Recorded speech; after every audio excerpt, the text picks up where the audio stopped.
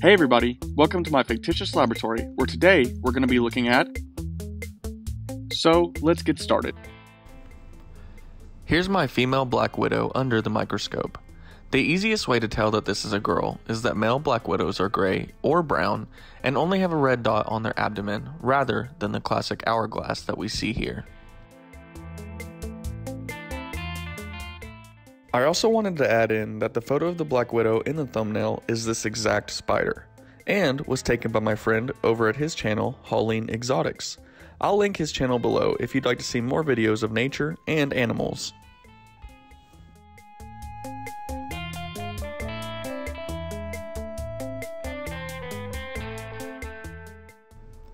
A wild black widow will live up to 3 years in the wild. Their venom is said to be 15 times stronger than that of a rattlesnake's venom. The black widow can lay up to 200 eggs, and they will hatch in around 20 days after being laid.